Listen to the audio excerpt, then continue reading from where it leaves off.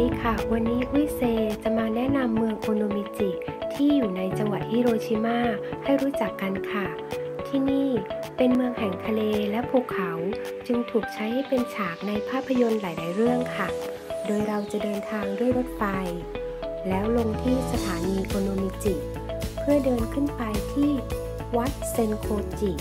แวะหาน้องแมว และหาของอร่อย ๆ ทานกันค่ะ ถ้าพร้อมแล้วไปกันเลย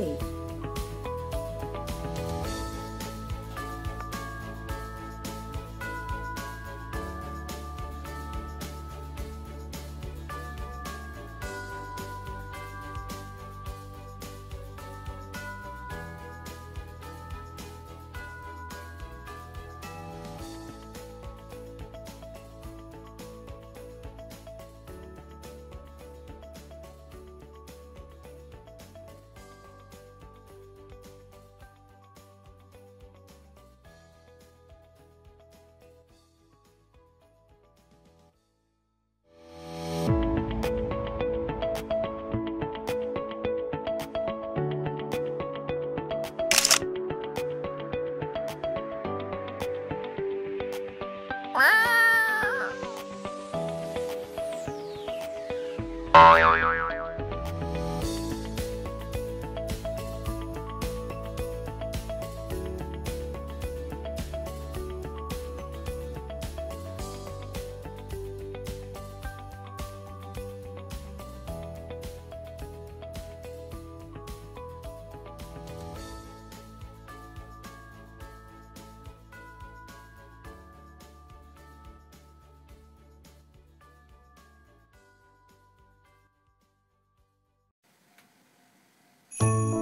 เป็นยังไงบ้าง ไว้แวะมาเที่ยวกันนะคะ